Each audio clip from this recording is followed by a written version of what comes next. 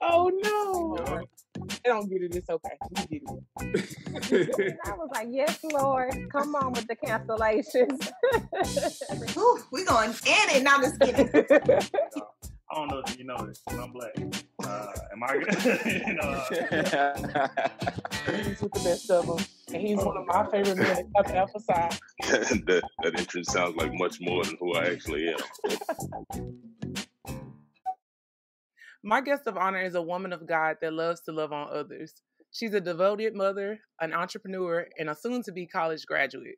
She currently serves as a peer leader, student ambassador, co leader of higher education, and was recently named Student Employee of the Year. She's a servant leader that uses the lessons God teaches her to inspire everyone she connects with. And as a mentor and coach, she assists others in understanding the importance of discovering themselves and their purpose. She's been called to encourage the masses through her women's empowerment ministry and business, Live Sis. So my guest of honor understands the importance of using every moment to magnify God and maximize on every opportunity. Today, my guest of honor is Rilesha Bowles. How you doing? I am blessed. Yes, OMG, I am blessed, favored, and apparently, listen, I got I got something to say. you do. You do. Um, it, is, it is definitely an honor, a privilege, and a blessing to be joining you on today, sis. I am so happy, long awaited. hey, it's right on time. Right, right on, time. time. right on time. Yes. Yes, well, I'm happy to have. I'm happy to have you. Um, like I'm very grateful that you gave me your yes and that God made sure it happened. So we're gonna make it do what it do. yes, we will. Yes, we will. Well, I want to start off by asking you a little bit about your background. Could you tell us where you're from and where everything started at? All right. Well, I am from Fort Worth, Texas, uh, born and raised. I am uh, from the south side of Fort Worth, Texas. As a matter of fact, to be a little bit more specific, so I grew up in a community that had definitely a lot to offer, um, and just um, uh, cultivated in so many different things, different aspects of life. Uh, so I come from a background of people who are uh, surviving. You know, people who are are striving, thriving, uh, thriving, and all the things. You know, so, uh, south side of Fort Worth, Texas, born and raised. I went to all of my schooling uh, on the south side of Fort Worth as far as um, grade school. So, Morningside mm-hmm. Elementary, Morningside Middle. And then, of course, I'm a Trimble Tech Bulldog. Cannot. You know. you know. Already. And so, Trimble Tech Bulldog. And so, that's where uh, my upbringing took place. So that's my background. Yes. Look, she she from that South Side. You know, I'm from South Side too. uh, you know, greatness. I, greatness. greatness. Just it just it just permeates in the yeah. South Side. You know, but but um, I. I love that you went to school uh, in your area in, in on the south side and you were able to, you know, be in the community and like really get raised by, you know, the community. So mm-hmm. I just wanted to ask you, you know, with us being from the South Side, we saw a lot of things that we yes. may not should have seen. But could you tell me how being in that space really like helps you to kind of like come into your own? Like, what? How did the environment teach you to become you? Absolutely, that's a really great question with a lot of power behind it because. Um, one of the things that you hear people say often is you don't have to be a product of where you're from but I'm proud to be a product of where I'm from because it gave me the opportunity to see things, like you said, that were um, not so pretty and things mm-hmm. that were not always good and perfect. And so I was exposed to things that I was able to look at and say, I want better. I want more. Um, not only that, but I want to make a difference because this is reality. It's not just happening on the south side of Fort Worth. It's happening in every um, city, state, neighborhood, community. And so I feel that if I had not been exposed to some of those things, that it would not have um, given me the opportunity to see uh, a spectrum of I want more. You know, it, it motivates me. It you know, and not all things were not good coming from the South Side. I mean, you get love definitely. Yeah, you get love. you yeah. know, Southern hospitality. Uh, you get that, and not only that, but you also get. Um, now we talk about raising. You know, um, needing a village. You know, and so that's one thing that I can say on the South Side. You're gonna go and you're gonna have family everywhere. That's my cousin. That's you know, you have family, you have support, um, you have structure. You know, you oh, have yeah. a lot of things that um contribute to your why. And so the, it it it, motivates me.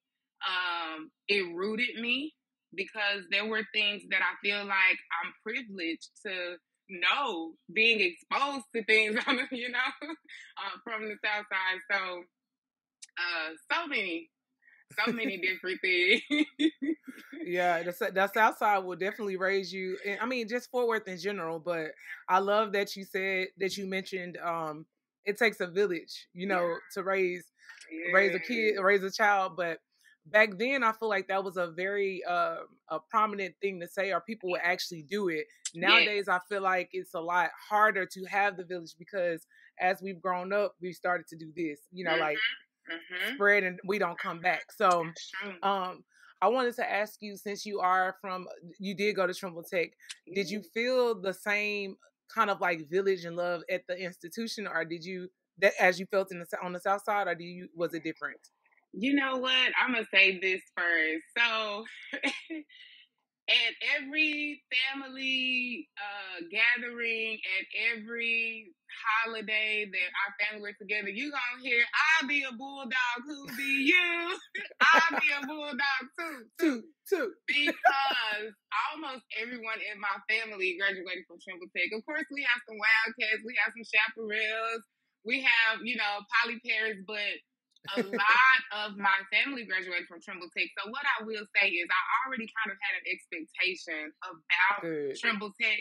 But for me to have experienced things that I experienced at Morningside Elementary and then at Morningside Middle, that shift from the South Side to Trimble Tech I guess that would be like Central Fort Worth with it, like mm-hmm. downtown. Okay, downtown. So, mm-hmm. Yeah, and so and it's not really if you ever visited or been to Trimble Tech, it's not really like a part of any neighborhood. You can't say oh Trimble Tech like Poly, You can say oh Poly or Wyatt. Okay, South Side. But like Trimble Tech was central, and there was really like no neighborhood. It's like near a hospital in like the you know cultural district area. And so what yeah. I will say is it did shift me um, and I'm so grateful for that opportunity because again, it gave me the opportunity to see a different spectrum, you know. Um, and I think that's for me, and I, I probably for a lot of Trimble Tech Bulldogs, but it like it's you still were able to have that South Side feeling, but then it was like a more um broader, if you would say, or like maybe like a more cultural, a more um it was pivotal. Yeah. it was it was shifting, but at yeah. the same time, I'm from the South Side. You know, it's in me. But uh, I would say that yeah, it, it was a shift, but it was definitely something that was that I was able to embrace because I had expectations from my family um, perspective, and then I also had um, I was ready. You know, yeah. I was ready for something. Um, you know, you're not just gonna go to Trimble Tech and not get an education. You're gonna you're gonna have to be ready, be up for the task, you know. And so I was ready. Yeah, it, Trimble. For for those of you who don't know, Trimble Tech was a school that you had to apply for, and it was a school that pretty much um, anybody from any neighborhood could come to this school if they got in. So they did focus a lot on like rig, uh, educational academic rigor um, yes. there was a lot of different cultures there, a lot of different, you know, events and things like that. And I, I, I had to ask that question because I know for me, tech was pivotal because I was exposed to so many different types of people. Yes. Um, so I wanted to ask you, is that where your your love for people started, or did it start early on when you were a kid? So I think for me, love. I was raised around love, with love, in love. Um, you know, I've heard people say that some people are raised off survival and some people Mm-hmm. are raised off love. Um, I was raised uh, from love. Uh, my mother, my grandmother, I can remember days that my grandmother, people would come to her house and they're hungry and she's stopping, she'll stop what she's doing to feed them. She owned a cafe on the south side. So people knew who she was and definitely could cook. Um, and so, so our grandma was gonna throw down. So they're coming, and when they're coming, and these are just people, you know, in the neighborhood, know who Miss Billy is on the south side, and they come and she feeds them. So, um, my grandmother was a giver. My mom, same thing. She was a caregiver and uh, is a caregiver, and you know, I was raised that way. Uh, so love was planted. It was rooted. It, it's been since I can remember. And as far as loving and caring for other people, again, that is something that I was I was raised, taught, rooted, um, and so yeah, yeah, definitely. Started how at a young age. It started at a young age. How how has that how has that impacted you as a mother? Like your style and when you're with Oh you uh, my your mothering goodness. style. oh my goodness. So let me tell you. So I have a son, Kason. He's five. You know that. Uh, Kason is the most loving person. We go places, and when I tell you, it's not just him showing love, but it's people falling in love with him. Like I learned early in motherhood that I'm going to have to protect this child because everywhere that we go, people are like seriously wanting to take him. Aw. oh my God, he's so sweet. Come on, you Aw. me. Um, and then not only that, but just uh becoming a better mother every day. He's very supportive. He's very um he's very in tune. You know, if if I'm he can he feel things, he sees things. He's very open with his um with his speech. If he thinks something, feels something, he's gonna ask questions. He's going to uh he's my cheerleader, you know, so uh being a mother and uh, being raised in love and with love, it is a blessing. I thank my mom all the time. I'm telling her, like, mom, you know, because as mothers, we're doing our best, right? And so I think that one thing that is very important, especially when we get uh, when we're older, we need to share with our mother um, the things that we are very thankful for that help us as mothers. So Mhm. if I did not have that love from my mother, Kason would not be the loving son that he is. You know why? Because I wouldn't know how to give that love and instill that love in him. So I thank my mother for that. And I can see that was one of the things that um, I was, before becoming a mother, I was praying about because I'm like, okay, God, am I really ready for this? You know, um, finding out I was pregnant and things like that. Am I really ready for this task? Okay, well, I know that he came from you. But then I look at my mother and how she's been to me, and I remember telling my mother, uh, she was in the hospital with me when I was giving birth to Casey, and I said, I'm not worried about if I'm going to be a good mother or not because I was raised by a good mother.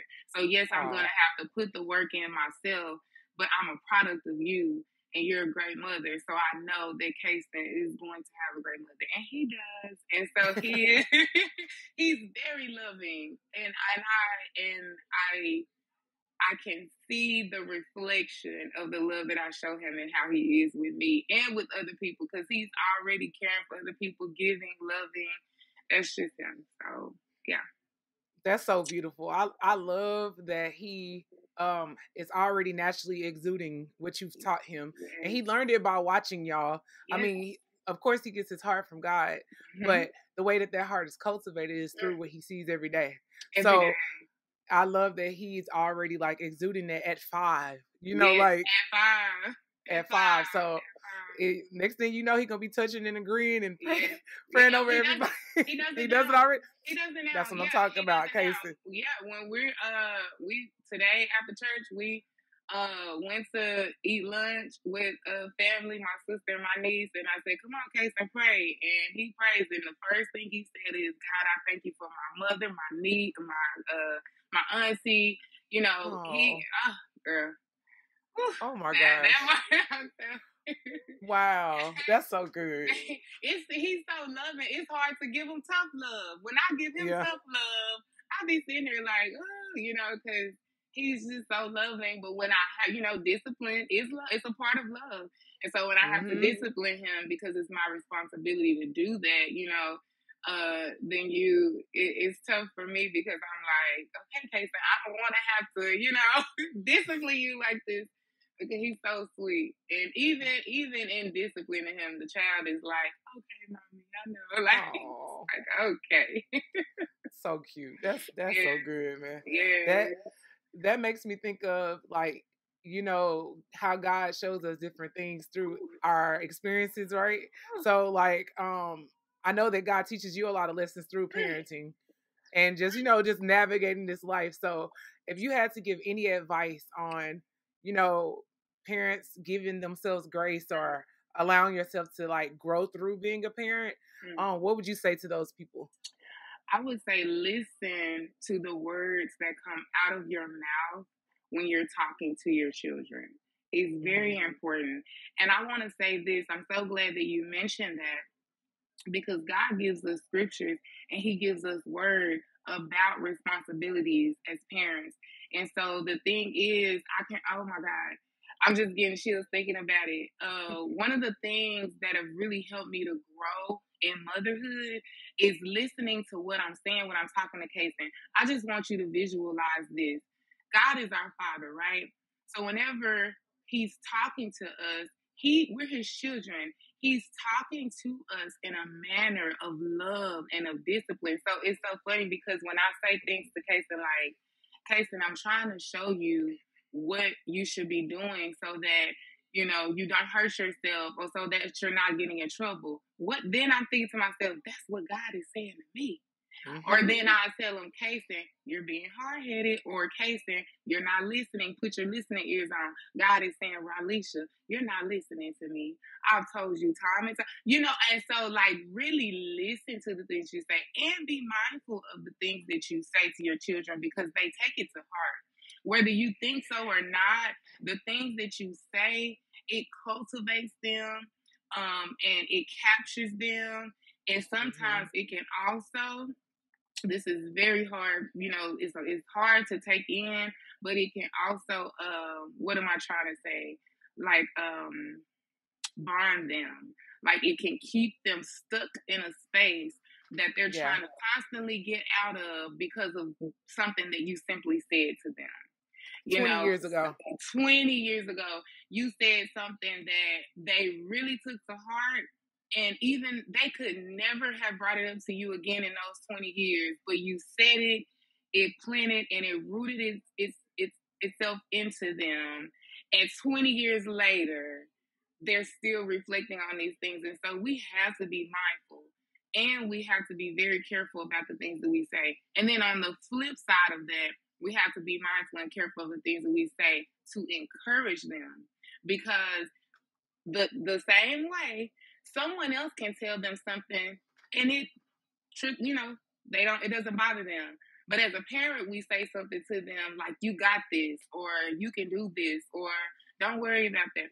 And it, it takes it takes heart the same way. They take it to heart the same way so encourage your children um, and be mindful and careful of things you say and keep in mind when you're speaking to them to be listening and hear god saying those things to you as his Mhm. child and that will help you or i can say it's helped me to to do what i just said do be mindful because when i'm telling him like you know come on Kason, you know or you know all those things and not only that but it's uh being a parent takes patience and I'm telling you, God has been so patient with me because when I mess up or when I keep doing the same thing, or when I, okay, they're a child, so we're teaching them And we have to understand that they're learning from us, like you said.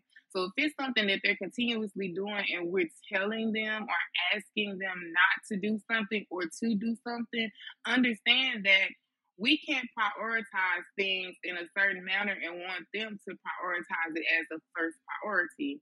Uh, today, something that our pastor said at church was he said, You can't prioritize God as your fourth priority and expect your child to make him their first priority. They're mm-hmm. going to watch you. And so I know that I'm answering this question like in, in a in a in a wide uh, format, but I just want to make sure that that that is something that I'm definitely speaking because that's been my testament. Like it is tough, it is challenging. You do have to have patience, but think about how God is with us as His children, and what you want to plant in your children. You can absolutely, you are their roadmap to success. Whatever you plant in them right now while they're growing up, no matter if they're a, a, a toddler or a teenager, whatever you're putting in them right now, you're gonna see it and they're gonna see it in their adulthood. And so, as parents, we're responsible to make sure that we're not passing them a baton and saying, "Here, deal with this when you get older," or "You're gonna see this and you didn't know." Let's let's deal with this right now together. While you have somebody that's guiding you, and you're able to have them listen to you because they're waiting, they want to listen to you. So be careful about what you uh, putting into them and what you letting them get from the outside world. Absolutely. I, yeah. I will say, I will say that you know when it comes to like watching uh parents parent, I think a lot of I think a lot of parents tend to operate out of fear because of things that they may have went through or just things that they're afraid of that may happen to their children. And I think it's important to to remind parents that if you trust God, you have to trust him with everything. You know, even your children, because he gave you the, the kids, so he trusts you with the kid, right? Yeah. Um, but um, and a lot of, and sometimes the parents do the flip side of, I didn't have anything, so I'm gonna give you everything. So yeah. I'm glad that you mentioned like mm-hmm. discipline and being willing to like give them encouragement and also be strong with them too, because at the end of the day, you're preparing them to be world explorers out here. Yeah. And if they're not uh, in a in a state where they understand how to uh, deny their flesh and like wrangle themselves in, they're gonna find themselves in a lot of trouble. So I'm glad that you mentioned that. Um, so I wanna I wanna ask you about the fruits of the spirit, and I also want to ask you about your relationship with God. So tell me, what do, what role does God play in your life? God is the head. You know, I I love uh, when I was reflecting on my preparation email, and uh, one of the questions about that, I ain't even gonna lie, sis. We, you know, we learn so many words and vocabulary and definitions growing up, but as an adult, I've learned that I have to go back and mm-hmm. look at definition of these words because what someone taught me then and the way that I received it and applied it as a as a part of my vocabulary, I'm looking at now in my adult life and I'm like, that hit different. I got yeah, it hit different now. Let me go and it does. define this so I can define it and apply it in the way that I need to in my life now. So I said that to say when I went and looked at the definition of role mm-hmm. you know, and that that assignment and that you know the uh, part that God plays in my life, and I had to make sure that I I answered that, and it's it's simple. He's the head. Mm-hmm. Um, and so what I mean by that is you got to think about it. Everything starts with the head. Mm-hmm. Everything starts from top to bottom, you know, and it trickles down. And so everything starts with a thought you know, so it's like, so I have to understand that, um, and I try so hard to make sure that whenever there's a thought that comes in my mind, because God is the head, I'm going, okay, God, you know, is this something that is coming from me? Is this coming from you? Where is it coming from? What are we gonna do with this thought? And so he he he plays the role. He is the head, and because it's no playing, he don't play. He don't yeah. play about me. He don't play. so he is, he is the head, and so he's the head of my life. And uh, and you know we hear that in church uh, when they praying as kids in church. Uh, I, I give giving honor to God who's the head of my life, but now, like no, seriously, he is. Mm-hmm. He's the head. He is. Yeah. And I'm I feel like a lot of people say it, but they don't act it. Mm-hmm. They don't mm-hmm. act like it.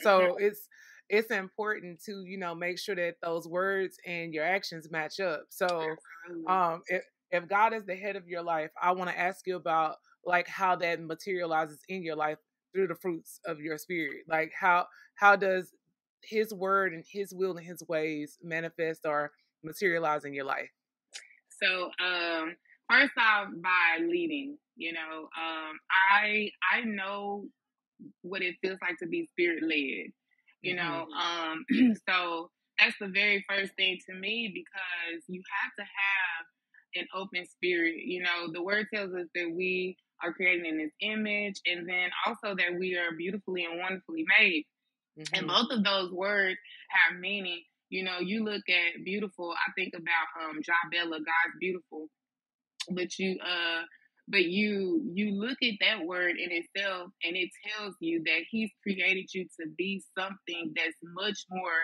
uh, bigger than what the eye can see you know yeah. beauty is uh, is a word that describes and distinguishes so much and so you have to see yourself through god's eyes and so wonderfully made as in you don't even know the things that God has placed inside of you. It's a wonder. He's a wonder. And so with those two things, know that you're beautiful. Know that you are um, you are created with things inside of you that you have to let show.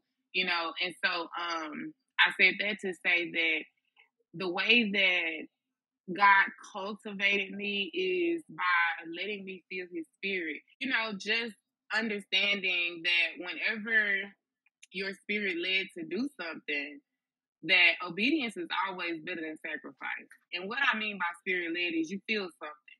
You feel a, uh, some people will say like you feel a, um, what is this is like when somebody tap you or something like that, like you feel a nudge, okay? Yeah, a nudge uh, or yeah. jolt. Yeah, yeah, yeah. And it's like, or it can just be in your heart, or it can just be a thought, you know, um, that's an indication.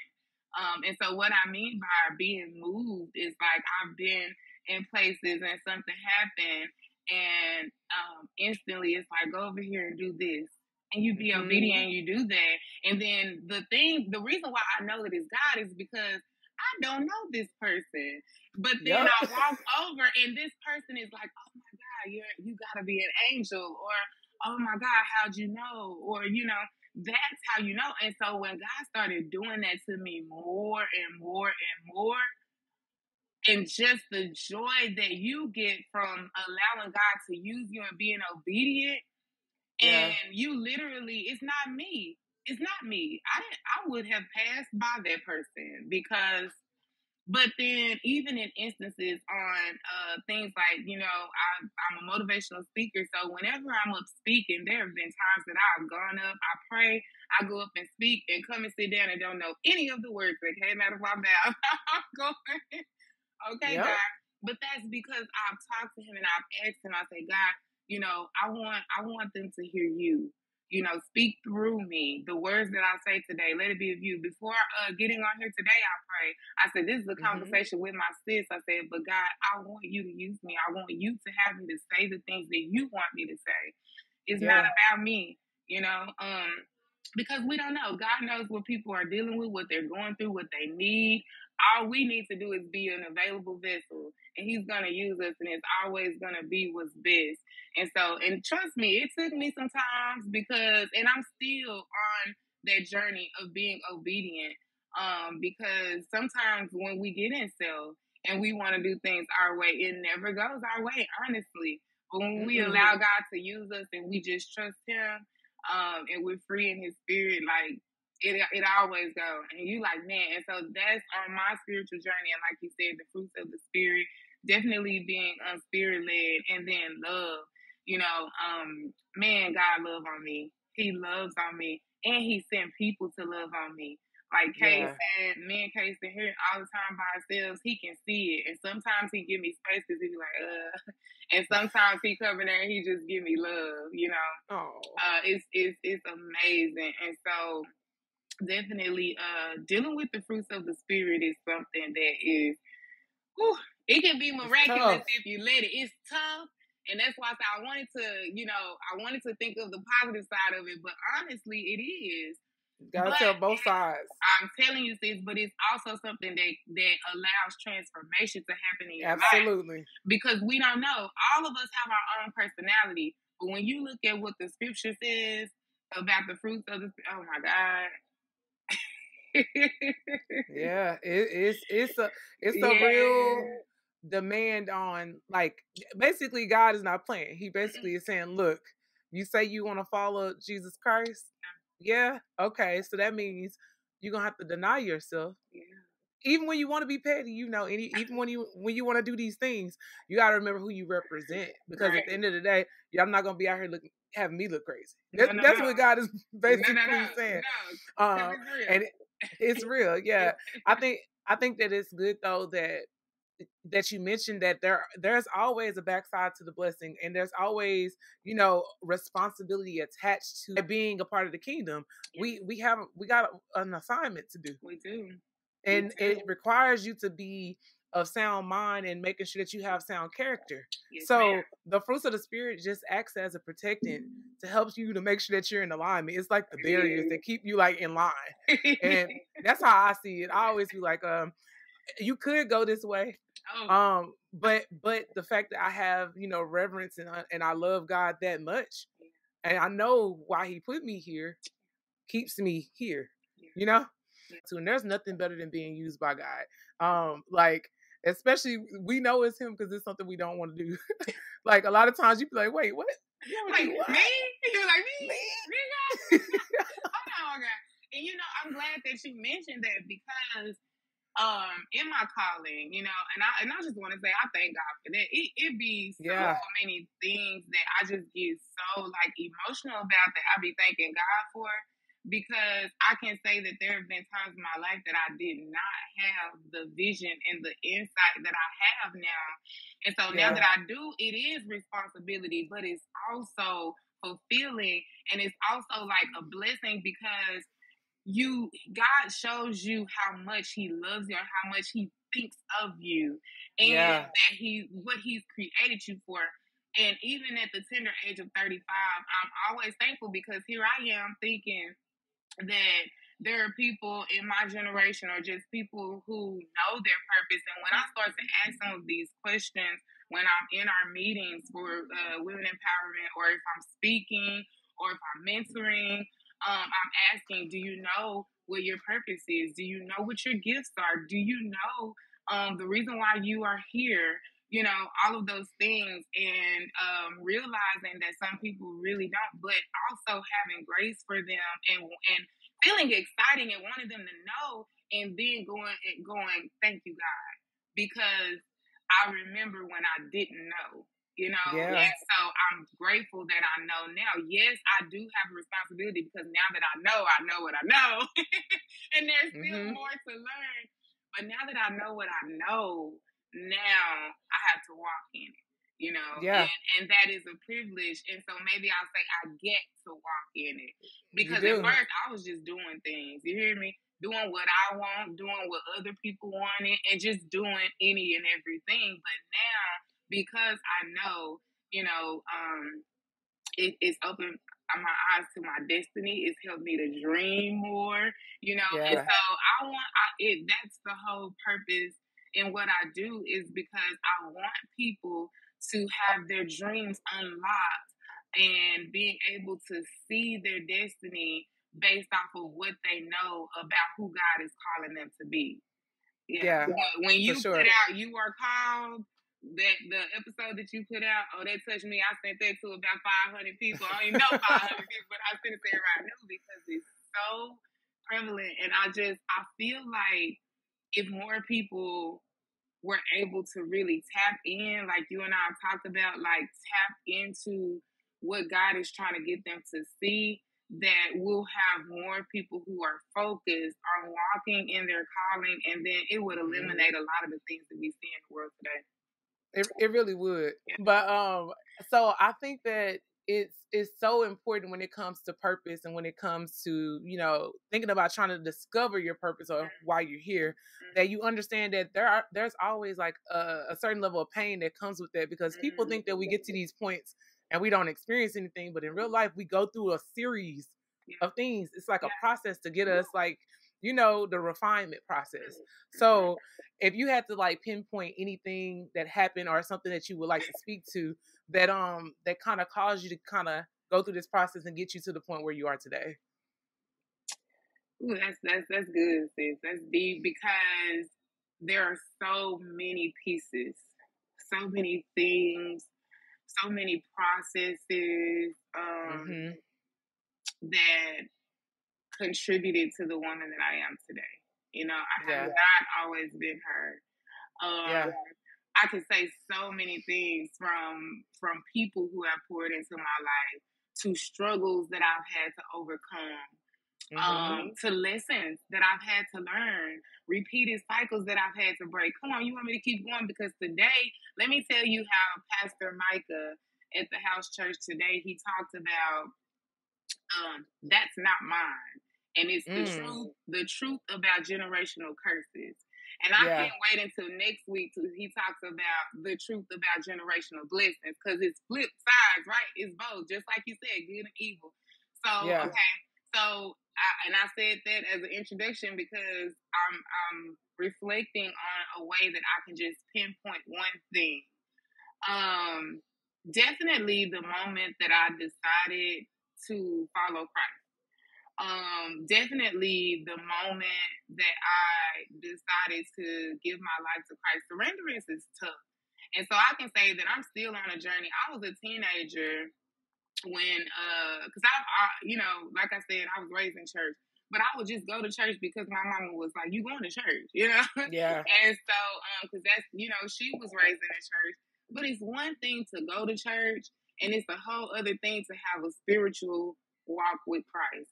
And I'm not even talking about going to church. I'm talking about really seeking him for yourself. The word tells us that we must seek ye first. Seek him first, and then everything else that we desire and we want will be added to him. Not all things, because some things is not meant for us to have, but the things that God has for us, we will receive them, but we have to seek him. So definitely that. The uh, and I'll say that took place maybe in like uh maybe when I was a teenager. Again, I I had been going to church since I was a girl. Um, since Yeah. as far as I can remember.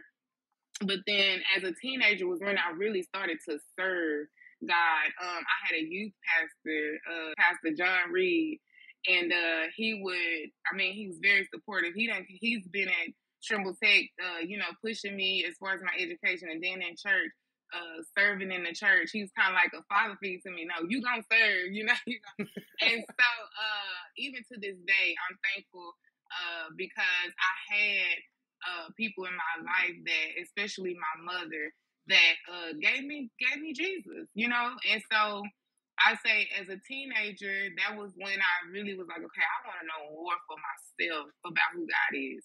But then I would re- just say recently, in like the last two to three years, um, maybe not even that long. I say one to two years.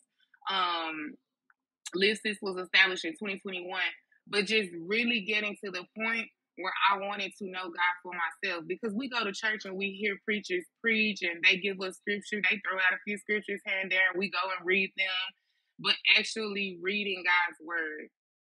And so I can say that recently, like in the last year or two, was when I really was like, I've been going to church, you know, um, I hear preachers preach, I take my notes, I, I go and read the scriptures that they give me, but to actually go and say, God, listen, I'm struggling with this right now. Can you lead me to scripture that's going to help me support? Because the Bible, basic instruction before leaving earth. So this is basically telling us the things um, that we can apply in our daily lives to help us with these struggles, with these Yep. processes, with the problems, right? And so, um, and I and I, you know, I don't want to, you know, put something out there that's not a truth because you have to be consistent and disciplined when it comes down to doing this because it's not always that my mind is like, oh, you struggling, go to the Word of God. No, it's not like that. It be like, oh, you struggling, go to Facebook and get some inspiration. Oh, you Right. struggling, go to Instagram. It's a reel that's gonna bring your spirits up. But I have to, in the middle of the night, I can like roll over, pick up my phone, and say, uh uh and have to put that phone down and get the word because that's when I know God is trying to talk to me. Um, and so I want to put that out there. It's not easy. It's not simple. It's going to take consistency. It's going to take discipline. It's going to take sacrifice and all of those things. But trust me, obedience is better than sacrifice. The woman that I see that everyone else see today, it didn't happen, like you said, just on a whim. It really took some time and some effort and some tears and some struggles. And so to pinpoint, I would say that is it. Um, I would say that it just recently happened. Um, 2021, me and my son was in a car accident on 820. That's to me, I say that's the highway that claimed many, many lives. Every mm-hmm. time I pass by that space on 820 where it happened, where the accident happened, I go there often. At first, I was afraid to go, but I said, God protected me. Mm-hmm. I remember when the accident happened on 820, but every time I pass by that spot, I say, Thank you, Jesus. Case mm-hmm. two, thank you, Jesus. Because 820 tried to claim my life, but God claimed it and got the victory because I stood outside of 820 and said, Devil, you tried it and you can't have me. But to me, that accident shifted everything. And I'm gonna tell you this. So yes, live this, live this, living in victory every day, sisters impacting and serving, or those are the acronyms for live sis. But I launched Live Sis on January 29th. On January 27th, me and Kason was in a life threatening accident two days before. Yeah, because he already knew. I had no idea. I was just listening to what God said. And so on the 27th, me and Kason had a bad car accident. But then uh, on January 29th, I still was in the house of the Lord, lunch and live sis. And when I say that lunch was something amazing, I had no idea that it was gonna be what it was. Uh, mm-hmm. but God did. So I stood in the middle of uh of 820 and I cried and I stumped on the ground and the paramedics didn't know what was going on. So much happened. That's for another day testimony. But um it was angels that was there. It was only God. When the paramedics showed up on the scene, he said, I call these because it was like the um, I can't think of what they're called right now, but they put them up on 820 because so many car accidents had happened. But mm-hmm. um, we spun around in the middle of 820 and like when I, we were headed towards the other side of traffic, but then we we ended up against the ropes, and so he said, "I call these the ropes of lives." He said, "I call these the lifesavers." That's what the uh, paramedic said. But um, I said that to say that in the midst of everything that I was going through, God allowed me to see that no matter what I what I uh, experienced, that I would be able to endure because He has His protection around me. And so on the 27th, that happened. On the 29th, I launched, and from there, I've been on a journey of getting closer to God and knowing who He is and knowing what He's capable of and what He's created me for. And so that was my pivotal shift. And then I can speak of one other thing, and that's um my my family. And so my son, my son, uh, I can really say if I had not uh, become a mother uh, when I when I did, I was thirty. I'm 35 mm-hmm. now, but becoming a mother shifted and changed my life because I get to see a reflection of what's inside of me, you know. And so when I see those things, uh, I can remember a time where Kason said something. I said something to him, and then he said, "Whatever." And I said, mm. "I said whatever. Where you get that from?" He said, "Mommy." And then I started thinking to myself, "Do I say whatever?" Oh yeah, I'm gonna have to change that because that ain't. but I, I'm so grateful that I was able to take that from him and yeah. hold myself accountable and that opened up a whole other lens of like, that was just a whatever. I wonder what else I'm showing him. That mm-hmm. and you hear people all the time. I remember someone that I was mentoring and she was saying, you know, why is it that my, you know, I don't know, my child won't communicate with me or my child is always screaming. I said, well, how do you communicate with them? And then she said, well, I do scream and I do. And I said, well, they, they mimic what they see. Yeah. And, you know, and so I, it, it's, it, man, this journey of learning God, learning who I am, becoming a better mother, a better daughter, a better sister, leader, wife, all these things. Um, and definitely uh, meeting my husband. My husband has been someone that has taught me so, so, so, so much. And I'm so grateful for him. Um, and I've already talked about my wonderful mother. I've had mm-hmm. mentors, friends, you, me and you have had conversations that have been inspirational. So the people that God has put in my life. So that's what I mean by family, community, TCC community. Oh my goodness, I can't speak enough about them. Uh, but you know, family, community, and then getting to know God better. Those are definitely two things in my life right now that's holding me down, that's building me up, you know? yes.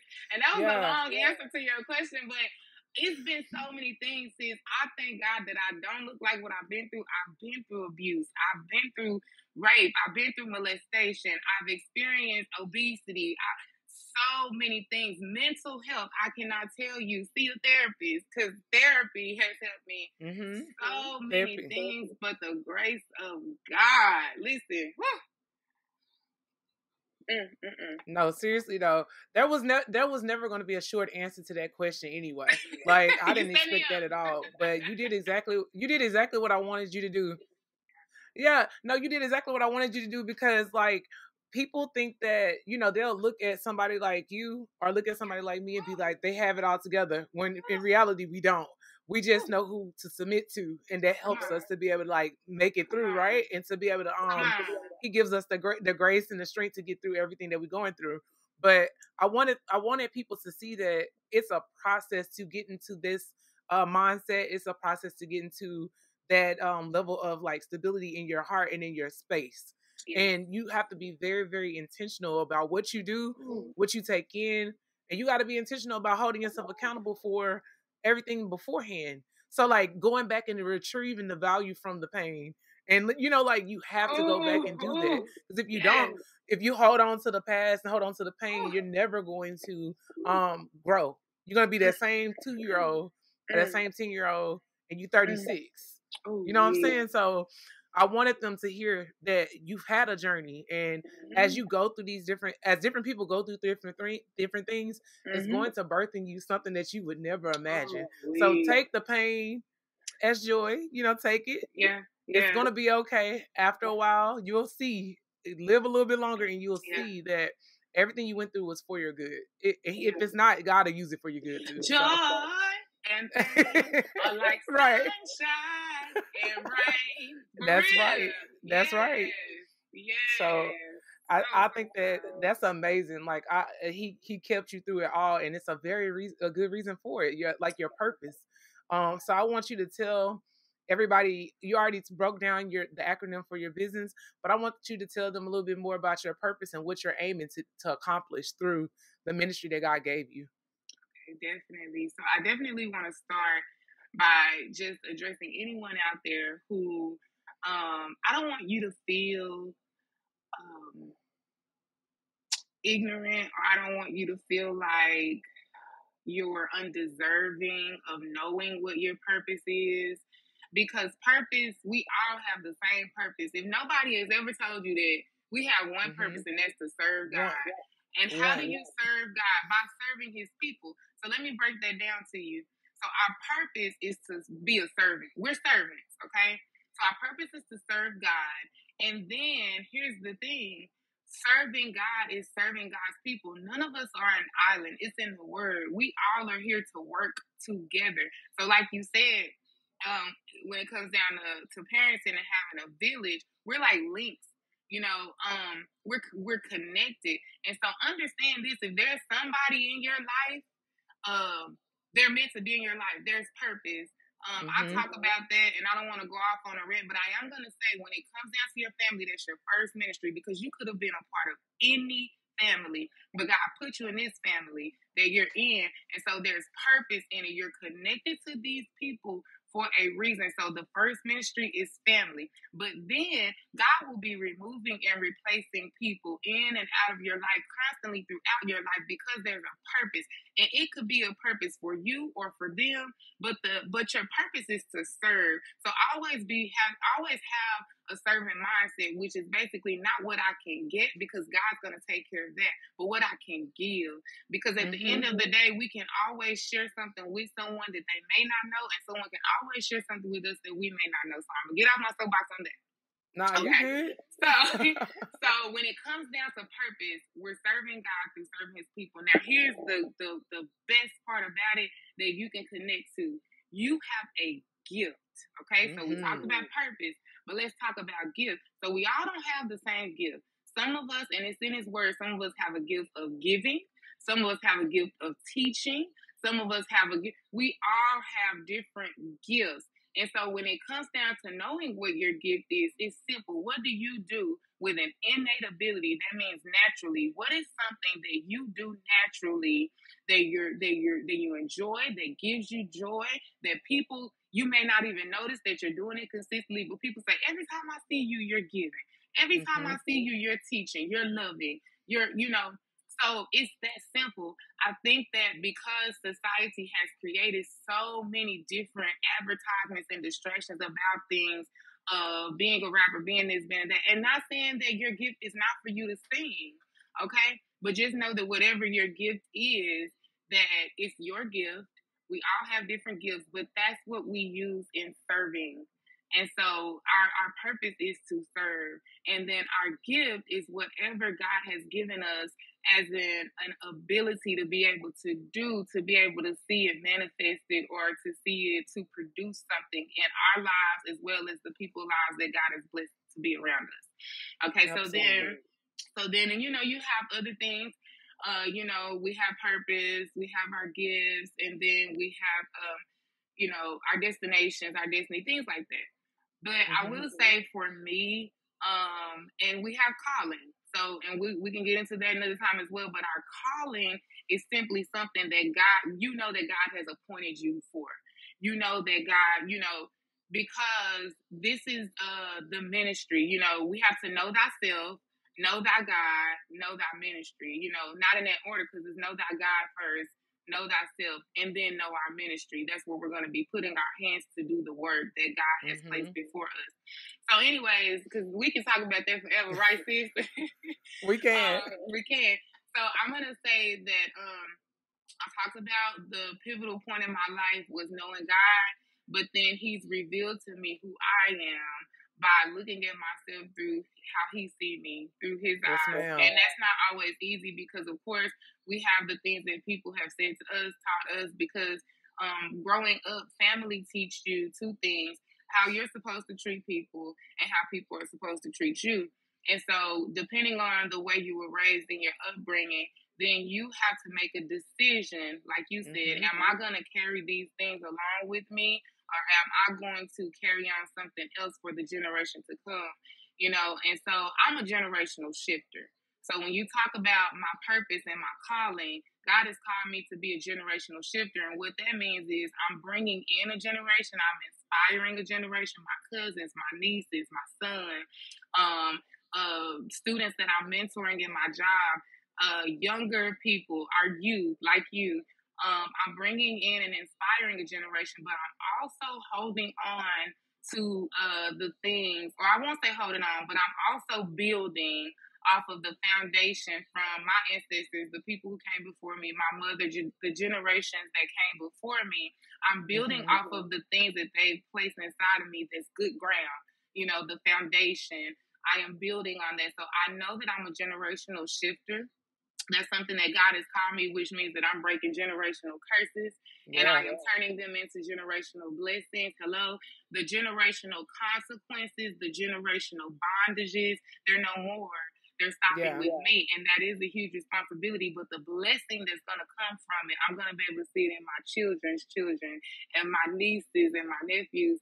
And so, um, so I'm a generational shifter. I also know that my purpose is to serve. Um, and sisters impacting and serving is Live Sis. And so with that ministry, uh, what God has placed in my heart to do is to empower women around me through sisterhood. And basically, Yeah. what that looks like is all of the experiences that I've uh, had a blessing to be able to experience.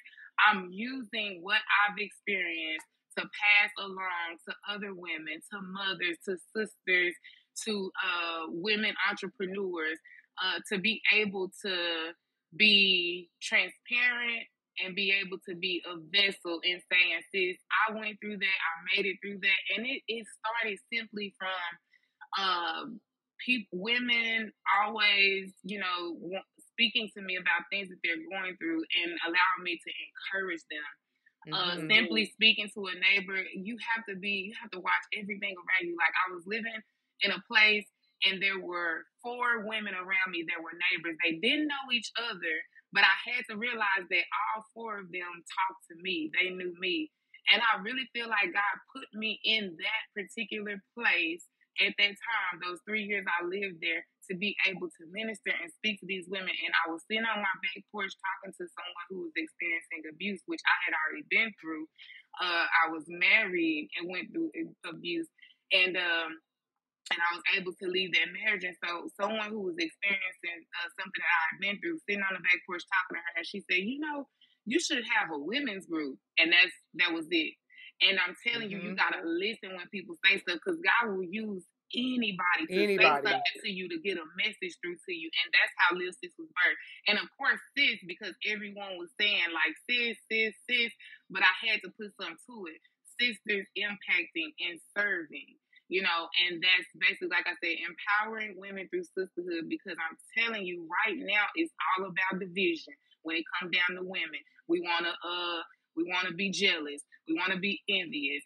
Uh, the the enemy is trying to um, how can I say um, divide us. But mm-hmm. but that's because he know that we're forced together. Think of every woman that's powerful that you know, and them coming together. Just it's so much power there, and so uh, empowering women through sisterhood. And so, like I said, it was birth and I've been obedient. And so God is still showing me how He wants me to move. But right now, it's through mentorship, it's through motivational speaking, it's through meetings. We have meetings uh, um, as often as I can, and we, excuse me, we also uh, can.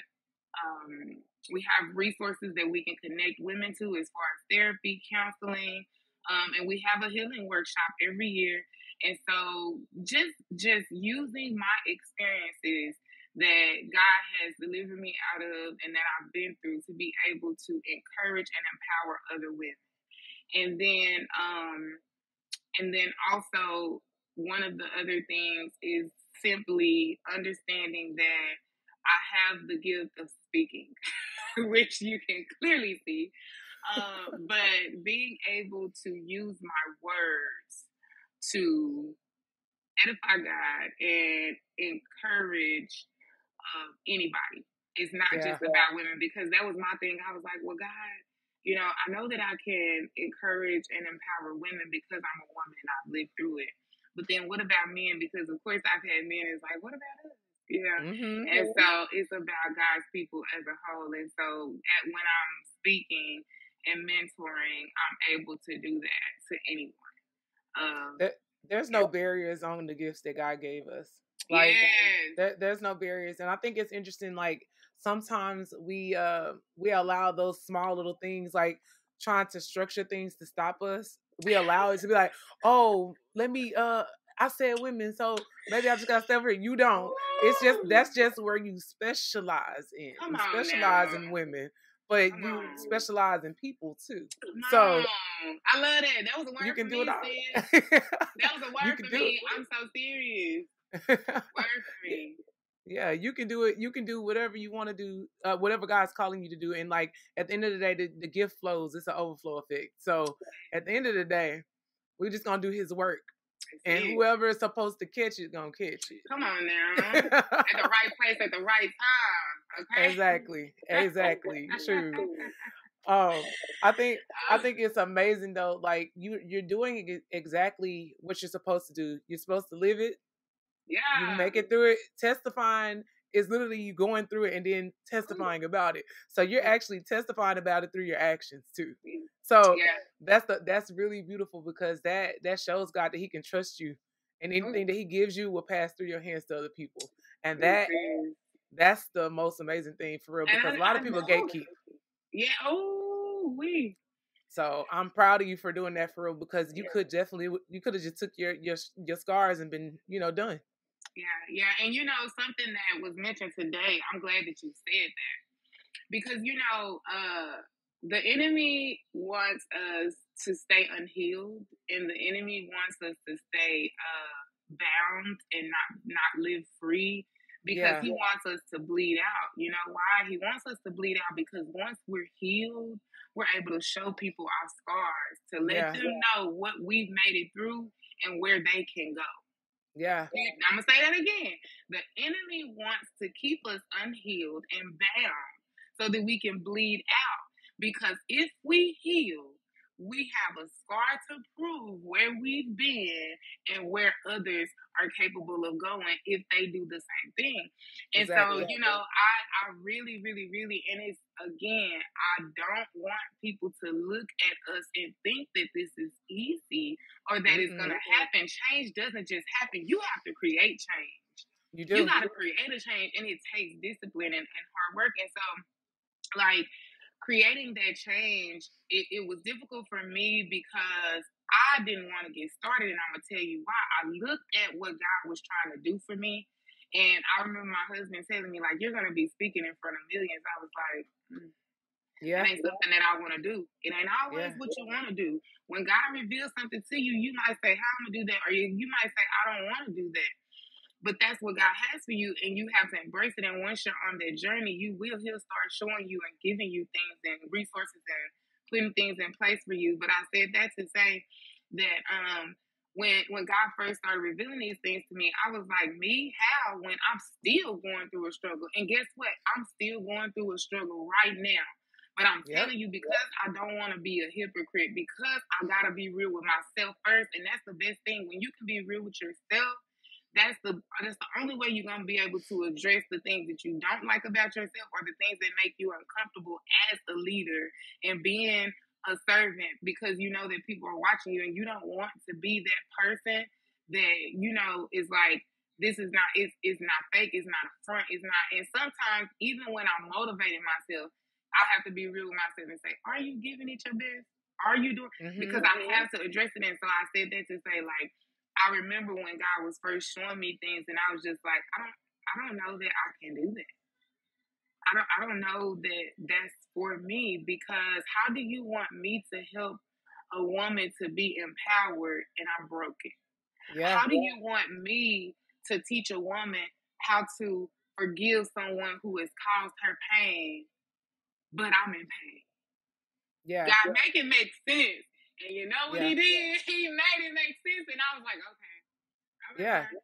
And You know what I always say- still- Oh, sorry. Go ahead. No, no, no. Like even now, just like the struggle, and I have to be like, but it's bigger than that. Yeah.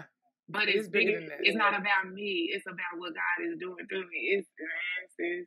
I have when on the days I have days now that I don't want to get out of bed, and I'm Yeah. like, I got, I have to. And then once I do, I feel much better. Yeah, that's the Yeah. thing.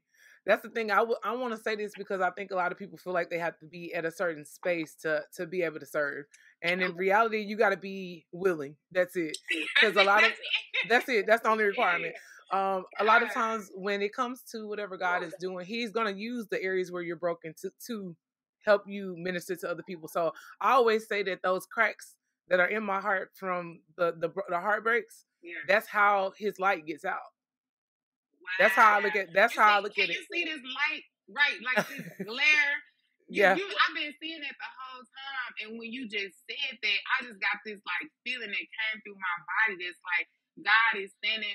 Like I just feel like he, like His presence, like He's standing behind me, saying, "It don't matter what you've been through. This little light of mine, Yeah. I'm let it shine because He in me." And it's like the things that people see. Remember, we talked about imposter syndrome. It's like we know the things that we've been through, Yeah. and so we think that we're not good enough, we're not strong enough, we're not brave enough, we're too broken, we're too bad.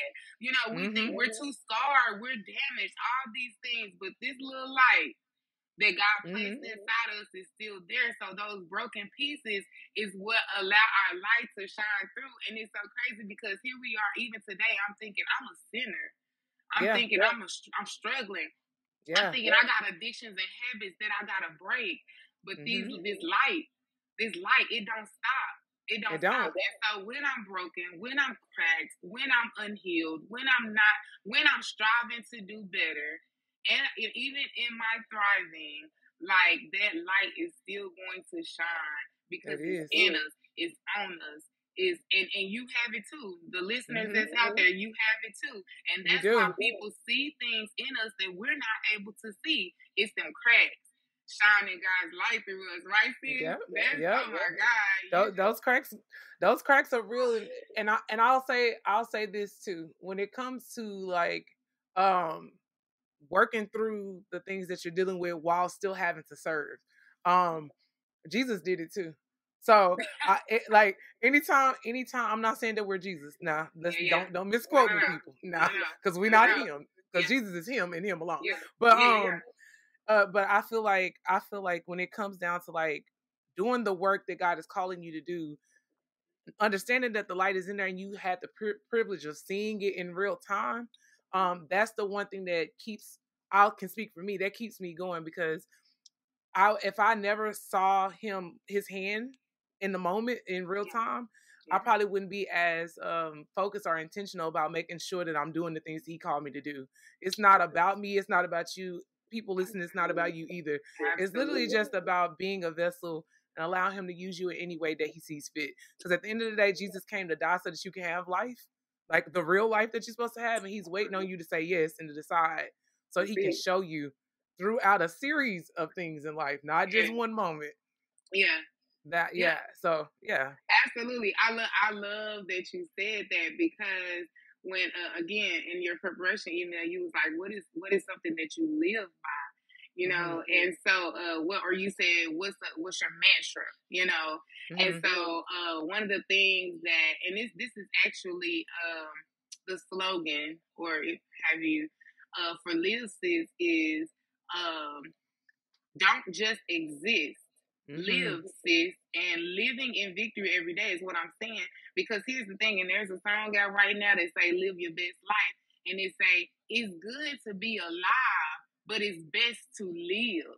Yeah. It's a difference. It's a It's a difference. big difference. With, yes, every morning that God wakes you up, you have an opportunity to be and to do whatever it is that is going to create a space for you to be able to live and live life more abundantly than the day before.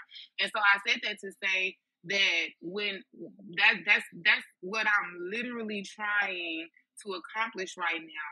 Not That's what that you're I'm doing. just waking up. That- that's what I'm doing. That's what I'm doing. every, Yeah. every day that I'm waking up, I am living because existing, I'm not a vegetable. I Mm-mm. have the activity of my limbs, my mind.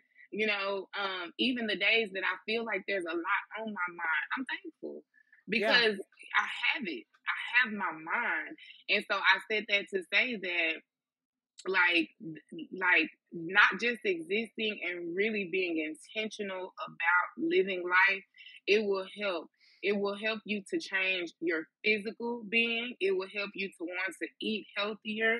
It will Yeah. help you to want to um, take care of your mental health.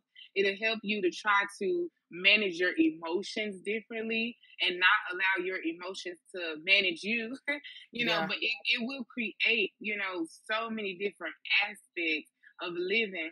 I would say that um, you know, just just I would say um time management, life management, all of those things will contribute to you living a life that that you desire to live. Yeah. hmm Yeah. And it and it all starts with you understanding who God is and, and who you are in Christ. Because at the end of the day, like we take our cues from from God. God is the one who created us. Jesus what is the ultimate example. Yeah. He literally, Well, he literally, yeah. Literally the ultimate example. He was all man and all God at the same time. And then you got the Holy Spirit that lives within you whenever you say yes to God. God sends that help, that help in you. So the Holy Spirit lives in you and gives you the instructions. It's like a play by play every day. It may not be something you want to do, but he gonna tell you. Like, hey, yeah, don't say that. Don't say that. Don't say that. like, like Ooh, in the midst. I'm talking about the words right there. it's already out. It's already halfway out. But to- but no, seriously though. In all seriousness though, like I really, I, I'm on one this this week for real about that because I'm just like at the end, I hear a lot of students talk to me about you know wanting to understand what's going on and how to move, and they they feel like they're not hearing God. I'm like, did you do the last thing He told you to do, or are you in your word? Because at the end of the day, if you reading, even if you're not comprehending fully what what is happening, you got to consistently do that so that you can get used to identifying God's character and understanding like what how He moves. Yeah. Then you'll understand you Yeah. after you oh understand him. Yes. So That- yeah, Remember we said life is lifing, but God Yeah. is guiding. And Absolutely. not only G O D guiding, guiding. guiding, G U I. D I N G, guiding you. And so Mhm. you have to let them. And so one of the things, whenever I get questions, I, I do. I've had, you know, someone say, well, "How do I know that God is speaking to me?" And and there are many ways, but I can say two things for me. One is if it's something that I'm just thinking, or something that someone is saying, um, then it's like I'll think about it and it goes away. Yeah. When it's something that God is saying, it's constantly, constantly, everywhere I look, everywhere I go. But Mhm. again, and I know you shared this with me, and we talked about this. We have to clear the palate, and what that looks like is guarding the doors of our minds, Mhm. uh, our ear gates, our hearts, because the Mhm. things that we take in will interrupt our manifestation. Because man, everything starts with a thought, and Mhm. then once once we think it, we start to speak it, we start to walk in it, and then it becomes our reality. That's manifestation. So here's the thing: whatever you hear, Mhm. whatever you listen to, whatever you take in, it's feeding your in your inner being. And what it's doing is creating a reality for you. And you don't even have to, because that's the thing about intentionality. God is intentional, but then we have to understand that everything that we allow to be a distraction to us, because distractions are are made to distract us, but they don't have to be a distraction. They don't. They yeah, don't. if you allow it to come in. So the music that we listen to, the things that we watch on TV, the things that we take part of in social media, all of those things, you have to guard the doors of your mind because what you're letting in is affecting your thoughts and what you're thinking is becoming your reality. And so one of the things that I would like to say to those um, youth or to anyone that's listening, if you can't hear God, start by clearing your space. That's your mental space. The things in your house. That's, Mhm. that's get your house in order. I know that you know you can take that however you need to, but uh, get get your mind. Uh, it, it has to take a mind shift. Shift your mind onto things that are of God, and then that's how you welcome Him in. If there are things in your heart that you need to get out to allow space for Him to come in, so you gotta give Him. You gotta invite Him in. And so Yeah. the way to do that is to clear your mind of things that are not of Him. I'm not saying you have to be holy. That is what we want. That is what we want for ourselves to be holy, to live righteous, and all of those things. But it's a process. So the Yeah. first thing is to get those things out of your mind, get those things out of your heart, and then you will see them to start disappear from your life. But guess what Mhm. God's going to do? He's going to come in and replace them with things that are of Him. And that's Yes, when you'll start to experience that joy. You'll start to experience that happiness because we're responsible for our own happiness. But you have to give Him the space to come in by clearing out things that are not of Him. So the things that we listen to, the things that we watch, the things that we involve ourselves in on social media, including people that are Yeah. in your life. If you have somebody negative around you that's always speaking negative, you're gonna have negative thoughts. If you have some, eh, so place place positive people and things around you. Um, and then you also mentioned uh, just like other other ways, like maybe I'm not hearing them. How do I know? So once you you cleared that space to invite him in, then the next thing is to listen with intention. Be mindful. So that means if something is around you, I'm driving down the street and I'm reading billboards. I'm reading the the titles of books because you never know when God is going to reveal something to you and listen to what people say. Even Kason at five years old have said something to me that God was trying to give me a message about. And when we're praying, pray with an open heart and pray with a heart of like, you know, the reason why you and I know so much about each other and know, you know, what we know is because we communicate. Okay, well, that's how Yeah. you communicate with God. Talk to Him Mhm. from your heart. And when you're talking to Him, ask Him to show you these things. Give me insight, God. Give me knowledge. Give me wisdom. You know, uh, show me. because but when you're asking him to show you, you have to be looking for things because he's gonna he's gonna God is gonna do his part. He's gonna show you in every way that he can, but you have to be able to see it in every way that you possibly can. Absolutely. Yeah, yeah. That's that's absolutely true. You got you have to be looking for it and be intentional. And and if you ever if you ever feel like um you gotta question it, just be like if you ever feel like you gotta question like I had to laugh. If you ever gotta feel like if you you gotta question something that you're about to do or you're doing, just ask yourself, is this gonna honor God? Would I do it right in front of him? Cause cause I mean it's really that simple. It's really that simple. We we complicate this and it's not complicated. We make this the this part should be the easy part. Mm. You know, defining what we supposed to do should be the easy part. Now walking it out is the harder part because you have all of the circumstances around you. But knowing what you need to do, we all know what we need to do.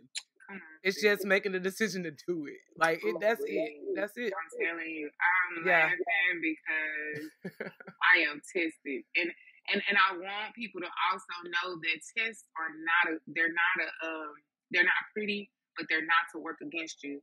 It's not Mm. working against you; it's working for you. When you go through tests, we have to embrace those things because we want to see what's on the other side, and know Mhm. that when you keep going through something, if you don't get it right, you're gonna go through it in a different way.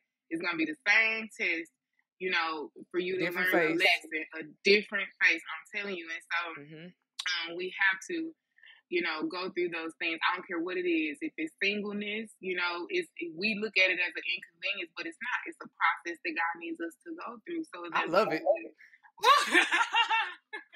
Loving it. and, and that can be for anyone because even Yeah. right now, I'm going through a season of singleness right now, and I'm married. So it Mm-hmm.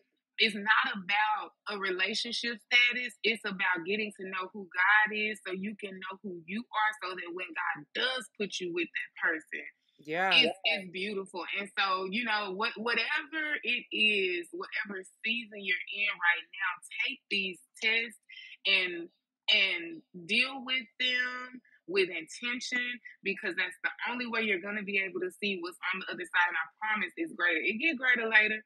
These sure tests, does. these- yeah, these test trials and tribulations are tough. But I'm telling you, the blessing that comes afterwards, man, it's it's it's, it's unbelievable. It's so So worth it. Ooh, it's So worth worth it. It's so worth worth it, sis. It's so worth it. Yeah. well, Yeah. tell me. I always have to ask every guest this: Okay. um, if if money was no object, like I always like to say, the sky is the starting line. So if money was no object, what would the goal be? What would you be doing? So money is not an object. Mhm. I I I thank God that I've gotten to that mental space. Mhm. Um, because we we do we hear people say, um, well, I just can't do that right now because I don't have the money, or I don't have the resources, or I don't. But I'm telling you to lean into that faith. And the reason Mhm. why I'm saying that is because, and this is, I mean, you and I talked about this, like, I don't know, and it could be because, and I'm thankful for my husband because he helped me to see um, the value of money in a different way. Um, I, I, I've always been the type of person you you could say living paycheck to paycheck or however you want to say it, and it's not even about the amount of money that's being made or the amount of money that's our household income. It's not about that. What it's about is when God wants you to do something, He's not going to let nothing stand in your way of doing it. Once you give Him your yes and you give Him obedience, He's not. So, and and, and I guess I'll put it like this: money is an object. You know, it is an object but it's not um it's not a hindrance. Right. And the reason why I say that is because anything that I that I know that God is calling me to do and I do it, he's gonna provide. He has provided. He's made ways for me that I'm telling you, strangers walking up to me, handing me money, and I feel like I was good at the time. But there's always also been some times where I didn't know how I was gonna make it. And because God provided for me, it, it gave me this mindset where I don't think of money as like, don't get me wrong, we have responsibilities, we have to pay our bills, and I'm not saying that I got it in the bank. but what Right. I am saying is God is my bank. And Yeah. and I know that I can go to him and say, Okay, God and even to the point now, um, anything that I'm doing, like traveling or anything, I say, and I and I even um, I've gotten God has given me this boldness from the things that He's shown me that He will make ways to where when somebody asks me something, like to do something or if it's something, I'll say, well, okay, well, you know, how is it going to be taken care of? Or and the reason why I ask that is because I really want to see God. I want to. That's the invitation. Like I really want to see God work it out because I don't have to tell Him my finances. He knows. Mm-hmm. And so what I do is go ahead and and let it be known, like, okay, well, how, uh, this this is something that's financially going to need to take place in order for me to be able to do this. So how are we going to deal with that? And then out out of out of God's processes comes, oh, you don't have to worry about that, or oh, that's taken care of. And mm-hmm. so when it comes down to anything that's serving God, and when I got to the point where I was telling people, if it's not about God, I can't be a part of it. I can't. Absolutely. And that's something I'm still learning how to do. But the reason why I do and say that is because if it when it's when it's for Him and of Him, He's gonna make a way. Money is never anything that will stand in the way of what God needs to take place. It may Absolutely. be that it has to. Uh, sometimes it may be that it has to be planned for a later time because things do take processes, but it's never been a no when it's about doing what taking you know God's business. When they say stand on business, God's business, and when you mm-hmm. stand on when you stand on God's business, money is not. It's an object, but it's never a hindrance or never stopping anything. You know. Yeah, because we he he gave us uh dominion anyway. So yeah. at the end of the day, it's a it's currency. It's going to pass through. Come on now. It's currency. So yeah, at the end of the day, the, the moral of the story, guys, it's, it's God's money. So you know, we we are part of the kingdom, so we straight. Um, but um, the the moral of the story is though, truly, at the end of the day, the more that you connect with God, the more that you learn His His character, and you know, allow Him to guide your life. He will provide, and it it's not gonna always be pretty, but it's only building your character. So but yeah. You gotta have a mindset that, you know, of course we always want more, but mm-hmm. be okay with what you have. Yeah. I don't have everything I want. You know, so I sure don't. Yeah, when we that question, I love that question. I love the fact that you give us the opportunity to answer that from different perspectives because again, like I said, uh, perspectives because I used to be the woman that would just go, I had to have something. If it was whatever. I'm not like materialistic as far as like bags and name brands and shoes and things like that because of the way that I was raised. My grandmother said it doesn't matter what it is as long as it's clean and it looks nice, you know.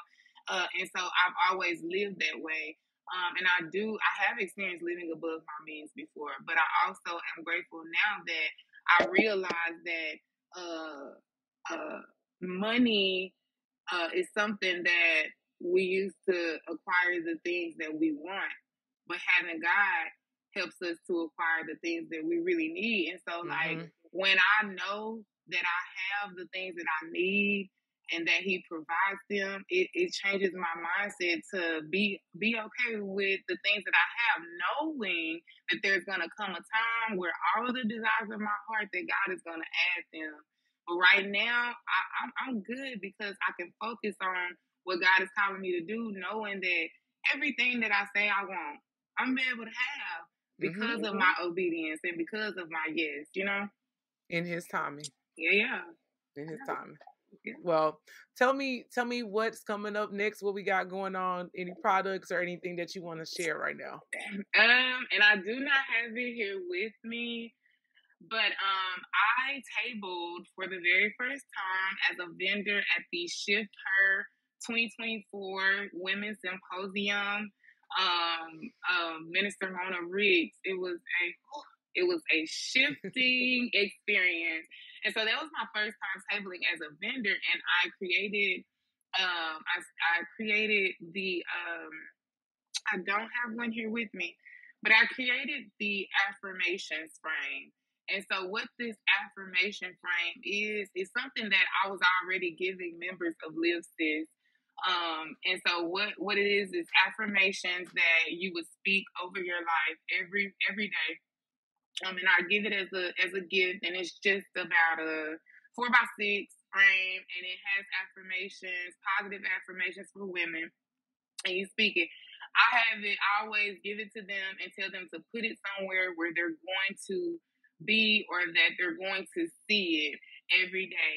And all we're doing is speaking those affirmations over ourselves. And then I also will have an affirmation frame. And so that's going to be affirming the things that we're speaking, which basically means to allow the space to be able to bring those things into form by our Mhm. actions to match our words. Like you said, our actions and our words have to match up in order to be able to make it a reality. So, um, affirmation frame, affirmation frames. But like I said, I stayed up the night before.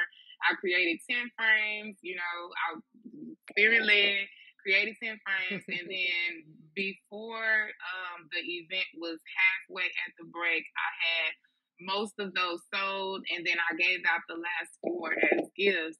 Um, but I said that to say that, you know, you never know. If you just be obedient, you never know what a product or, you know, something that's going to become um, useful to anyone else. This is just something that I've always done. I printed out those affirmations and I would read them and it helped me.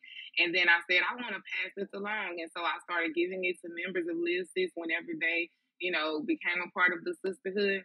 But then at the event, I literally left there with none of them. I stayed up the night before creating them. And so I will uh, put those on my website and they're $7, but it's affirmation frames and you can you can get yours and it's uh affirmation as a matter of fact i have a gift for you i'll get that to you but Oh, that's so sweet. so that and then um as far as um like you know you mentioned that i'm going to be graduating may 7th so i'm really excited about that.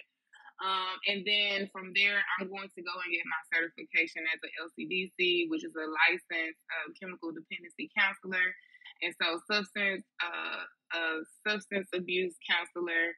And then in the meantime, I am a uh, a women coach, so women empowerment coach. I have sessions available through uh, uh, Calendly. So that information is on my website, and then also uh, flyers that will be going out on social media for uh, women to be able to connect with me. I just wanted to make sure that I uh, made the time and had the availability. Uh, so when I graduate, it will free up my schedule some. And so I'll be able to offer those sessions. And it's not about money for me. So it will be like $30 sessions for 30 minutes and $50 sessions for 50 minutes, whatever it is that clients would need uh, to receive that empowerment and that encouragement. And so, coaching, I am still motiv- uh, doing motivational speaking. Uh, I also speak um, every other week at Tarrant County College. I am the co lead of the Intercultural Network. So, uh, as far as like student um, empowerment and then student engagement, basically speaking with our chancellors and our presidents about what our students' needs are on campus, advocating for our students to say these are things that could be tools or these are things that can be, you know, um, added to our curriculum and things there so that we will be able to give students what they need. Um, and so I I know that God is doing some really great things. Uh, honestly, I don't even know everything that's in store. That's how you know you're on the right path. God take me, yes, and, and and wherever God takes me, and He's steady un, unfolding things. yeah. So as far as Live Sis in the ministry, um, we're always definitely um, inviting women to be a part of our ministry, and I am still God is still working with me on how this will be structured and how it will be carried out because my goal is to bring women together, uh, starting with my family and and bringing my family together. And so it's a, it's it's in the works. I'm I'm really really really grateful for uh for God bringing us together. You know, and I I can recall. I'm I'm just so grateful. Like I was just thinking about it today because I remember when you first asked me to be a part of to be interviewed on your podcast, and I was literally going through. That was around the time where I was just getting into my journey of you Mhm. know being more like intentional about my relationship with God and recognizing my growth and all these things. And so I was really fearful. I was operating in fear. And Mhm. whenever you asked me, I wanted to, of course, it, but more than anything, it blew my mind because I said, what did she see? you know, like what, what, what I do? That light, what do I the have lights. to say? and I remember telling you that. And so even today, I feel that that's a testimony in itself because here I am today, not operating in fear today. Whereas when you first asked me, I was like, "Oh, I'm afraid I don't know." Today, it was like, "Ain't nothing stopping me." Ain't Yeah. nothing, that that's the testimony. Like, ain't nothing stopping me. So I thank God not only that you are being intentional and obedient in your calling, but that you give us that whenever you you do what you're doing, what God has called you to do, you give us that inspiration and that motivation. And I thank God for connecting us. This is connection, you know, and that's what about that's what Live Sis is about, empowering one another. Me, me reaching you reaching out to me and me reaching back, saying, you know, I know that this is something that God has put. Look at look at everything that's happening with the recording right now. Like, you know, it's God ordained. Yeah, And nothing yeah. can stand in the way of it. But I'm so grateful. I am so grateful because like just you reaching out and then me giving God my yes, me giving you my yes is a testimony to what Live Sis is about. Is is yeah, sisters impacting and serving. And I know I know this this message is impactful and all of the messages that has been brought on you interviewing us have been impactful and we're serving. We're serving. Yeah. I appreciate I really appreciate you too and I'm very grateful for it as well because um just being able to sit down to te- to talk to someone that's like-minded and that understands what it takes to like hold the weight of what God has given us is very it, that's very rare because you don't always meet people that are kind of like doing the same things. That's why it's important to connect connect with people uh, even if they're doing the same things that you're doing, especially if they're doing the same things you're doing yeah. um because that's even more of a greater community so i appreciate you saying yes and I, it was exactly what i knew it was going to be Yeah. and and i and i definitely feel like it, you just getting started like the more like you're just getting started like i can't wait to see what else god like drops on you because he go he good at that pop pop like oh message. do this for me message yeah Message. I can't wait to see what else he he uh he brings on you because I see I see books, I see conferences, I see workshops, I see all of that. So yeah, I'm excited for you. Thank you so much for coming on. Thank you for having me. God bless you. And likewise, in everything that you pour out, I know that God is pouring back into you. I see you. I'm shine, queen, shine is what I have to say because I see you doing it and it and it's inspirational to us and it's motivational. And I know that behind the scenes it's a lot going on that we don't get to see, sis. And so I want you to stay encouraged because it's it's making a difference and we're and we're leveling up. Mhm. Did you catch Yeah, that? you know. We're Yes. leveling up. and, and listen, at every level, remember what we talked about. It's like it's like it's just like a video game. Every level you're using the tools that you're learning to pass these tests, and then God is gonna level you up. But know that that just as the greatness is getting greater, the tests are gonna get greater. But we Mhm. have the tools and we have the tips and we have God's blessings to carry us through whatever it is so that we can continue to level up. Yeah. Yeah, I definitely definitely received that. Thank you.